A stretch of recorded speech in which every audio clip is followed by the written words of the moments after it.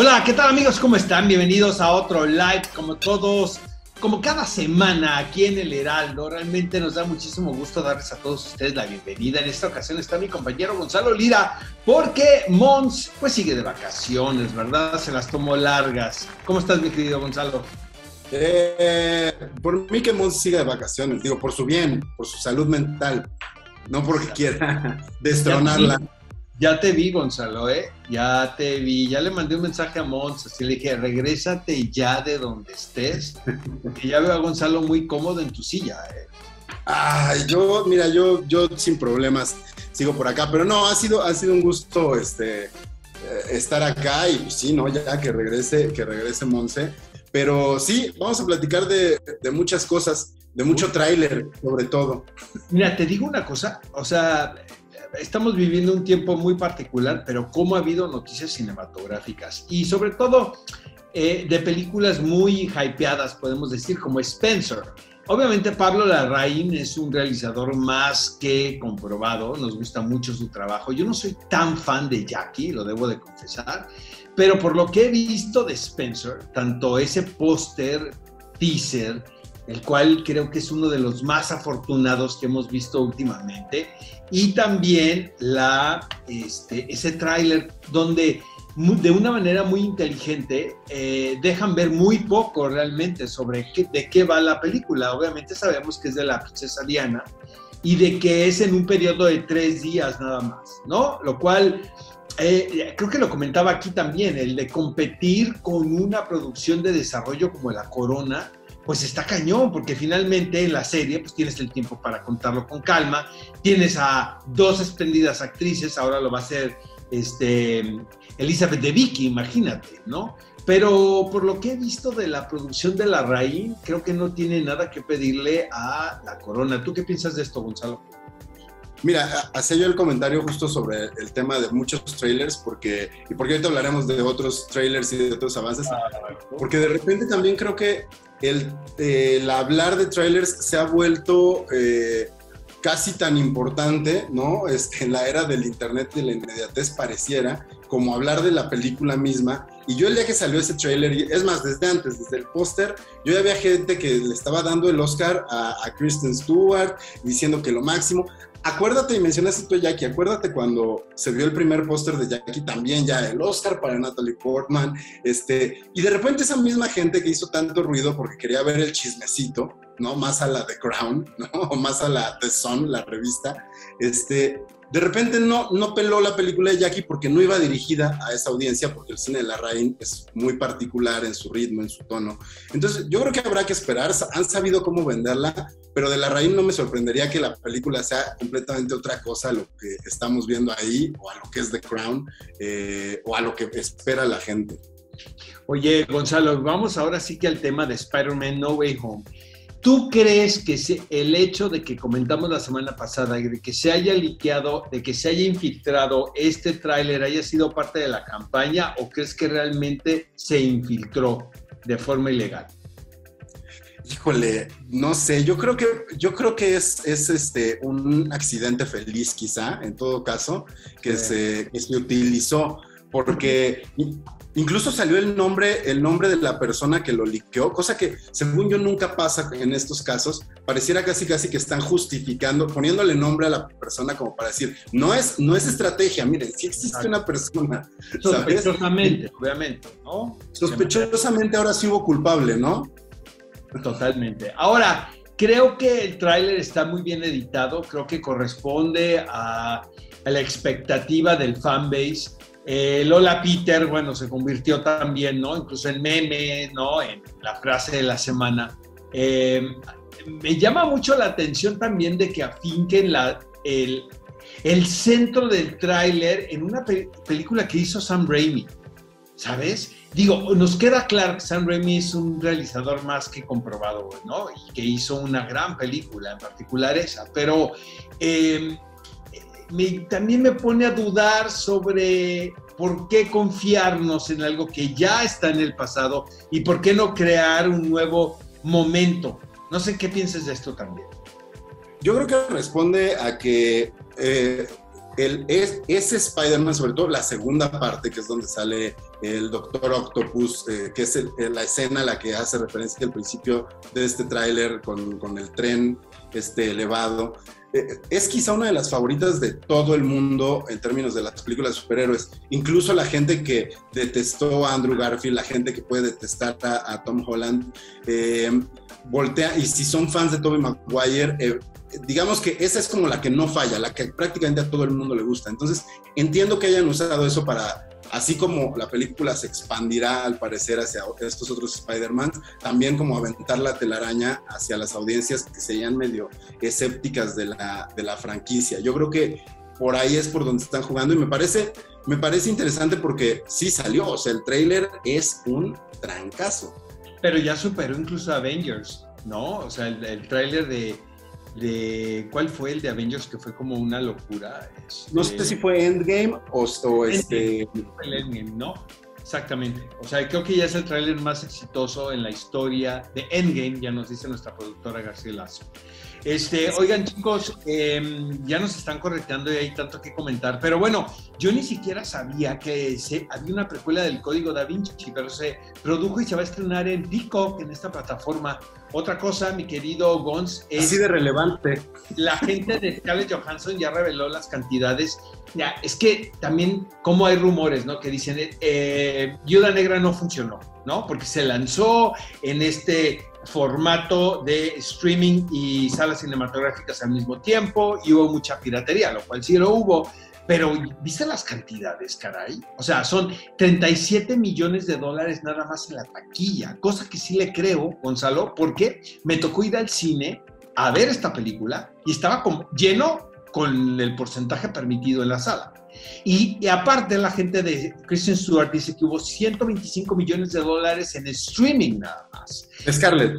Scarlett Johansson, exactamente. Entonces imagínate la cantidad de dinero por la que ellos están pidiendo, ¿sabes? Un porcentaje para su actriz. No, y que además eh, pareciera, ¿no? Obviamente esto nunca lo vamos a saber, eso sí son de esos secretos que quien los tenga se, se va a la tumba con ellos, pero pareciera que la presión que ejerció Scarlett sí influyó en que la semana pasada la película ya estaba en la plataforma, no se esperaron tanto como hubiera De forma gratuita, exactamente. Bueno, no gratuita, pero con tu mensualidad en Disney Plus. Ahora sí vamos a entrar en materia. Nueve extraños perfectos. Ahí te voy. Fíjate que vi los cuatro capítulos que hay hasta este momento, amigos. Eh, eh, últimamente Nicole Kidman de una manera muy estratégica y muy inteligente ha sabido como expandir ¿no? sus ventanas y las oportunidades como actriz, al igual que Reese Witherspoon no lo ha hecho cumplen una edad determinada donde saben que en Hollywood son muy crueles, ¿no? Con el paso del tiempo, en los actores en general, pero sobre particularmente eh, con las mujeres. Entonces buscan otras oportunidades y había tenido muy buena suerte con, eh, con The Undoing, por ejemplo, esta serie donde incluso se comentaba que podría ser nominada a un Emmy. Este, esta serie, exactamente, esta serie que hizo con con Reese eh, Witherspoon, también, que tuvo dos temporadas, ¿no? Basada en la novela de Lian Moriarty. Y también a propósito de esta autora, la cual genera contenidos muy apropiados para personajes femeninos. Pues llega Nueve Extraños Perfectos. En Estados Unidos fue por Hulu y en el resto del mundo creo que es Prime Video. Ahora, te voy a decir qué me parece. Creo que no le salió o sea, ahí les va, amigos. La historia es sobre un grupo de pacientes o, o podemos decirle eh, eh, huéspedes o visitantes a, este, a, este lugar que funge como una especie de spa o centro de rehabilitación espiritual, ¿saben? O sea, acabamos de ver White Lotus, que me encantó, por cierto, en HBO, que era un hotel común y corriente, all inclusive, nada más y seguramente muy caro, en Hawái. Este es como un lugar para ir a curar tu alma, ¿no? Un lugar como el que necesita mi querido Gonzalo Lira. Es como, es como el hostal de la luz en Tepoztlán, yo creo. Exacto, es como para los Tuluminatis. Exactamente. Los, los, que vivimos en México, pues vamos a Tulum, ¿no? Los que viven en el resto del mundo van a este lugar que se llama Tranquilio.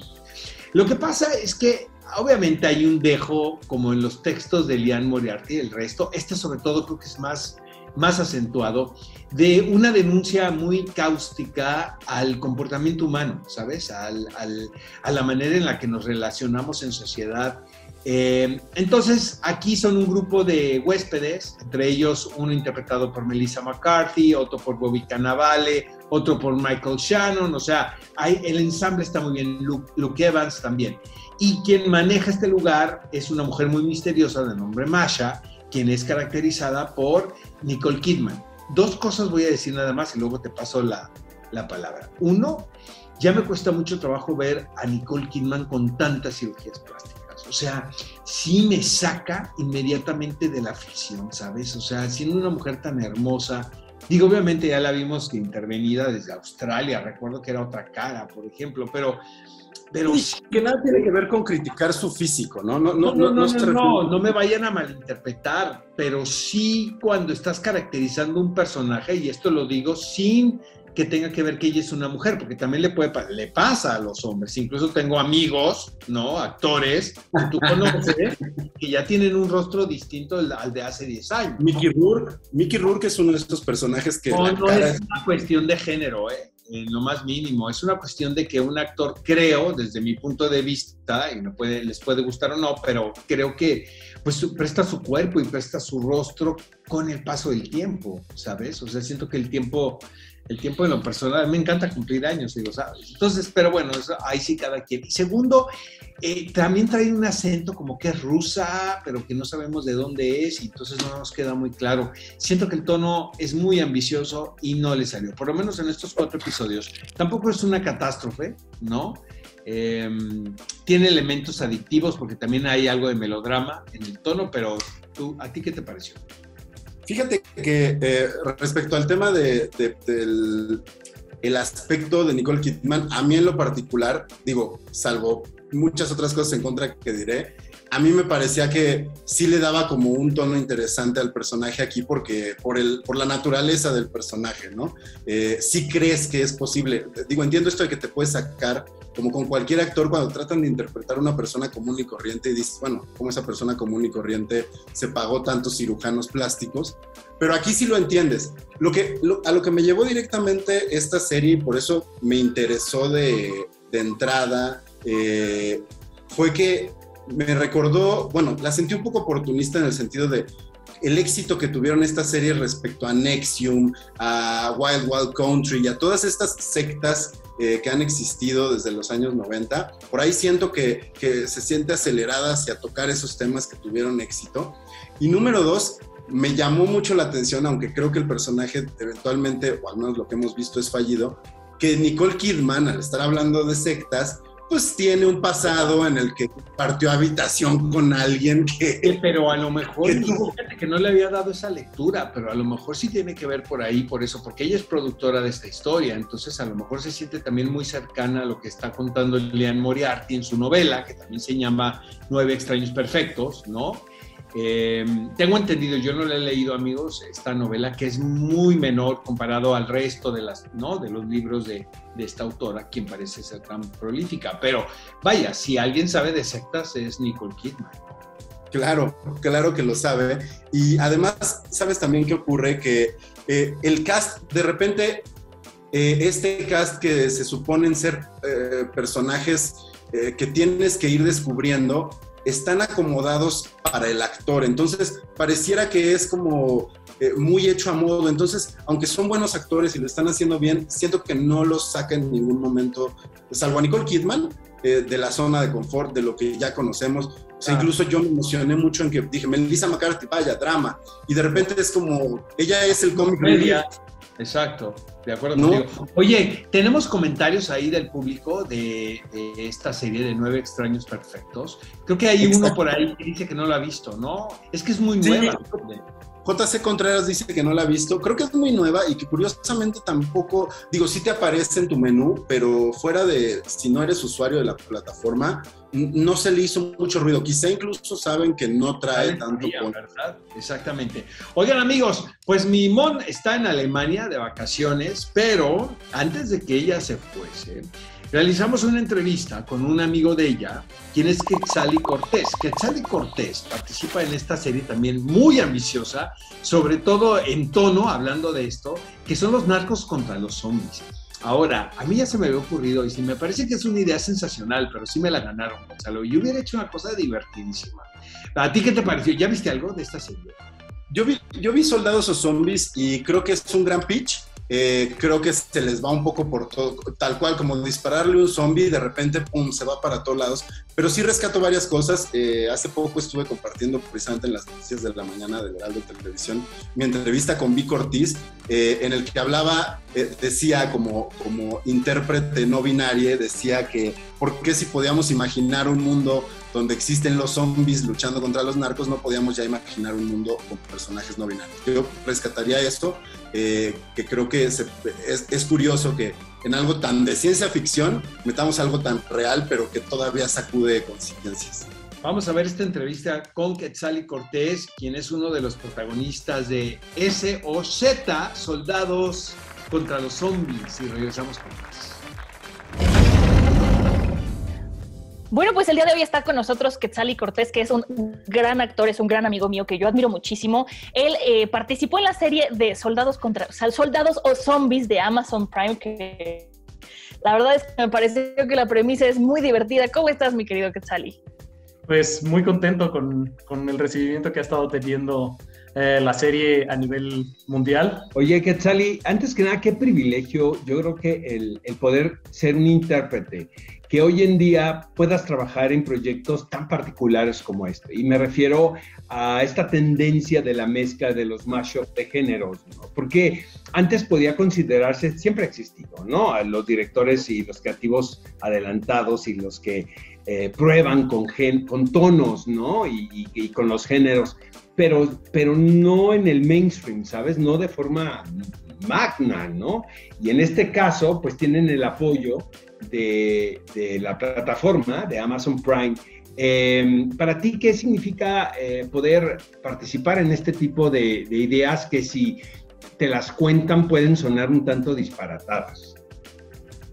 Eh, son muchas cosas. Primero, es, un gustazo poder formar parte de este proyecto, eh, independientemente de, de eh, si es una mezcla, no es una mezcla, si gusta, no gusta. Eh, yo agradezco mucho poder formar parte, no solo en esta ocasión, sino en, varios proyectos en los que he estado, de cosas diferentes. Me, encanta, creo que, que en, en, México justo lo que tenemos que hacer es atrevernos a contar otras historias. Entonces ya de entrada a mí me hace muy feliz. Oye, y eh, platícame un poquito cómo fue la construcción del, del, personaje de los zombies, porque tengo entendido que Orto Soyuz les ayudó con la parte vocal y que crearon hasta un dialecto. Eso me parece fascinante. ¿Cómo fue ese proyecto, ese proceso? Eh, igual no les quiero spoilear mucho, pero sí, eh, efectivamente estos zombies son diferentes, tienen su, su, su propia concepción, la concepción que tienen Nicolás y Miguel. Ah, tienen un, dialecto que estuvimos preparando, tienen una forma de moverse, tienen una biología, uh, una estructura social eh, y, todo eso pues tuvo que ser ah, ensayado, planeado, eh, también el maquillaje por supuesto y, y, el universo en el que se desenvolvían estos personajes. Oye, Quetzal, ¿y tú eres fan de, de los zombies? ¿Qué tanto estabas familiarizado con estos universos de la serie? Yo soy fan de, todos los géneros. O sea, a mí, te digo, para mí ha sido un placer y un privilegio que este, muy probablemente no creo ser famoso todavía, pero formar parte de, de proyectos tan diversos, de tan diversos géneros, me fascina. Yo en lo personal me fascinan los videojuegos, me fascinan eh, el cine de género o las series de, género. Entonces, ah, hay unas que me gustan más, hay unas que me gustan menos, pero, pero efectivamente sí, sí, sí me gustan, sí me gustan los zombies, sí me gustan los superhéroes, sí me gusta el terror, sí me gusta la ciencia ficción. Muchas felicidades, Quetzali. Muchas gracias. Muchas gracias. Sweet Girl. Podemos encontrarla en Netflix. Ahí te va, mi querido Gons, ¿qué pienso de esta película? eh, había comentado en este espacio que Beckett me sorprendió muchísimo, ¿no? Le puse play y me entretuvo, ¿no? Eh, he leído muchos detractores también con la película de Beckett y siento que John David Washington no logra eh, seducir a toda la audiencia, ¿no? Como que polariza. Pues vi Sweet Girl y esta sí estoy de acuerdo que no le salió, la verdad. Eh, que esta cosa de, de, hacer algo de entretenimiento puro que no está mal, porque finalmente ese es el negocio de la plataforma, pero ya cuando la fórmula es tan evidente, cuando sabes que la manufactura de la película es de flojera, cuando sabes que el director de fotografía no propone absolutamente nada, sino solamente contar una historia de la manera más elemental donde ves que los actores están pensando en pagar el tiempo compartido, ¿no? Que compraron, ¿no? O lo que deben de la pandemia, ¿no? De las colegiaturas de los niños. A mí, yo la verdad, yo no entiendo esta película por ningún lado. Es una tontería, salvo que tiene un elenco muy atractivo, porque está Jason Momoa, ¿no? De Game of Thrones, quienes somos fans de la serie, pues hizo, hizo un personaje inolvidable en, este serial. La niña Isabela Merced también me parece súper talentosa. Y está la hija de Arjona, que también, ¿no? Es, es, una chava que tiene una carrera muy padre. Y está Manu García Rulfo, a quien queremos muchísimo, la verdad. Pero eh, siento que la película es muy mala. El asunto de la denuncia a las empresas farmacéuticas, pues no, no avanza en lo más. ¿Qué piensas de esto, Fox? Creo que ahorita que mencionas lo de las farmacéuticas, eh, eh, me, iba yo a empezar con ese comentario, porque no solo, no solo está, es tibia la denuncia, sino que además se, se, enfría todavía más al estar en el momento en el que nos encontramos, ¿no? En el que se habla tanto de temas de salud. Digo, sé que la película no se hizo antier, pero pues con que se haya hecho hace un año, año y medio, o sea, ya casi dos, sabemos que la pandemia ya estaba andando y se siente muy tímida. Hablabas de la este fotografía. En este, país, ¿no, Gons? O sea, con el aspecto del cáncer. Bueno, además, sí, o sea, se siente de inmediato, o sea, aquí pega directo. Y, y, entonces cuando no lo desarrolla, pues dices, ¿cómo? O sea, tomaste algo tan complejo para solo hacer una película de entretenimiento y de acción eh, Jason Momoa, que está como productor, ahorita que mencionábamos hace a, Nicole Kidman como productora escogiendo los personajes, pues se ve que es alguien a quien ya le urge mostrar más de su rango actoral.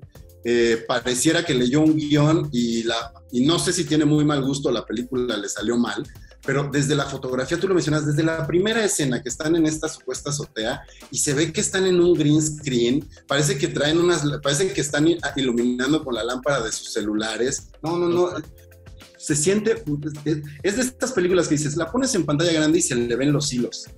No, y hay una vuelta de tuerca ahí tan sacada de la manga, amigos, que ya lo hemos visto tantas veces que hasta ganas me dan de decírsela para spoilerearles la experiencia de lo mala que es. Pero bueno, oigan, parece que no fuimos a terapia ni Gonzi y esta semana y que todo odiamos, pero fíjate que vi El Reino, es esta serie argentina que está creada por Marcelo Piñeiro, que realmente yo le he seguido la filmografía, este director durante mucho tiempo es el de Cenizas del Paraíso, Caballos Salvajes, El Método, y ahora en conjunto con Claudia Piñeiro crean este, esta ficción titulada El Reino, que eh, es una película re argentina, como dicen ellos, ¿verdad? Eh, que luego a veces como mexicanos nos cuesta trabajo.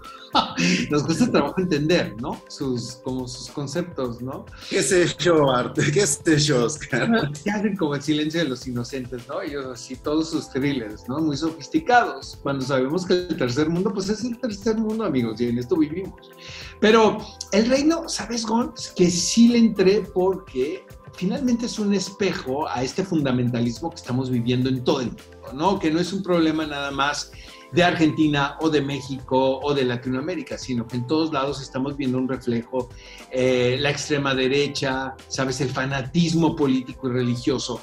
Y aquí la historia se detona, obviamente, con el asesinato de un candidato a la presidencia. Pero la vuelta, aquí el asunto es que el vicepresidente, interpretado, el candidato a la vicepresidencia, interpretado por Diego Peretti, eh, pertenece a esta secta religiosa y, entonces es la, vida de la familia, ¿no? Y obviamente es un thriller eh, con tintes de denuncia también, es, una historia policíaca de quién fue quien mandó matar, ¿no? A, a este personaje, pero, pero me gustó muchísimo, la verdad lo, lo, recomiendo muy, está muy entretenida y a diferencia de lo que hemos hablado de las otras dos ficciones, la manufactura es impecable. Oye, mi querido Gonz, tenemos comentarios de la gente de Sweet Girl. Frénale, frénale, tanto la odiaste que, que, que, no quieres volver a saber nada de ella. Pero mira, te va a hacer, te va a hacer muy feliz que Jimena, Jimena Briseño dice, muy mal argumento de película, este, muy mala, dice Viras B7, y por ahí J. Contreras dice que le gustó mucho, que la disfrutó, igual que Rosemary Gonz, yo me imagino que González, también dice que, que muy buena, así que divide opiniones, yo creo que si llegas justo con, o sea, si te estás cortando, si traes el credo en la mano, te estás cortando los callos un domingo, basta, pero, pero, pero en español y volteado. Oiga, amigos, fíjense que yo no vi Shang-Chi, pero mi querido Gonz ya la vio, entonces él nos va a adelantar qué tal está esta película, que sin duda alguna se convierte en uno de los estrenos de la semana, por cierto. Sí, fíjate que habrá que ver qué pasa, porque también es, una realidad que eh, al menos en México y en muchas otras partes, de repente somos muy, voy a usar una palabra muy fuerte, pero de repente la audiencia puede llegar a ser muy racista. Temas, películas que tienen que ver con temas de afroamericanos eh, y en, esta, en este caso como de la comunidad asiático-americana, de repente no funcionan. Pero bueno, el sello Marvel sabemos que, ahí está y que jala muchísima gente. El protagonista Simu Lu este, no es un nombre conocido y creo que se va a hacer un nombre muy conocido de Pero aquí en adelante. tengo entendido, haciendo el villano, ¿no? Que es uno de los grandes actores, caray. Súper fan. Sí, sí, sí. Está él, está Michelle Yeoh, eh, está Aquafina. Es decir, el elenco responde a, a, una cosa que yo he venido diciendo desde eh, que pasó incluso poquito antes de desde Crazy Rich Asians, después el Oscar. Chino, chino, chino, eso no es chino, ¿eh? Siento que es chino primera generación, ¿no? Algún, Fina, por ejemplo, ella es americana, de descendencia oriental, ¿no? Claro, claro, pero responde mucho a, y, y, ahí también es una cosa ahí tímida de todavía no entrarle, digo, Tony Leung, Michelle Yeoh, pues sí, pero de no poner un protagónico que tal cual venga de allá, algo que se quejaba mucho Bruce Lee en su momento y a quien hace mucha referencia esta película, pero eh, Hollywood está volteando a ver a la comunidad asiático-americana porque de entrada ya tienen muchísimo poder político, eh, ya tienen muchísima, ya, ya son, ya no es primera generación, ya es gente que paga impuestos y pues por lo tanto también paga boletos de cine y no son nada tontos, han premiado cosas como Parasite, han nominado otras películas también como eh, Minari, ocurrió. Es decir, eh, como nos pasó en su momento a lo latino, de repente está pasando con la comunidad asiático-americana. Y lo que es agradable de eso es que esta película funciona como una película pensada para esas audiencias de primera generación. Parece que estás viendo una película del Jackie Chan que mezclaba la comedia como con, con las acrobacias, que estás viendo algo de Bruce Lee, excepto para mí, cerca del final que tiene ahí unos tintes que se van hacia lo fantástico absolutamente y que no quiero echarle a perder a nadie nada, pero que a mí ahí me perdió un poco. Sin embargo, creo que es de lo mejorcito que he visto eh, de Marvel, al menos la primera hora si estás así de, wow, este, esto no tiene nada que ver con lo que había visto antes. Y es el director de Short uh, Term 12, ¿no? O sea, un director realmente autoral, que eso es bien interesante lo que está haciendo Kevin Feige, ¿no? Con este tipo de directores de propuesta. Rápidamente, esta semana Egons viene a la Casa de Papel temporada 5. Yo sé, amigos, que ya se les agotaron las líneas argumentales a esta serie, pero pues yo te voy a decir una cosa, Gonz, yo sí quiero ver dónde va a terminar ese, ¿no? Ese desastre que traen de narrativo, ¿no? Como Lost. por dónde se va a ir, es como Lost, tal cual, por puro morbo voy a ver la temporada número 5, que es la temporada, creo que concluye esta historia, aunque ya saben que en Netflix nunca se sabe nada. Y luego Cenicienta, que sé que mueres por verla, con Camila Cabello, que es tu recomendación, no te hagas, de esta semana. ¿Qué tal el escándalo que hizo James Corden, ¿no? En la ciudad de, ¿qué? ¿Dónde fue? James Corden, Nueva York, ¿no? Donde... Me parece ser que sí.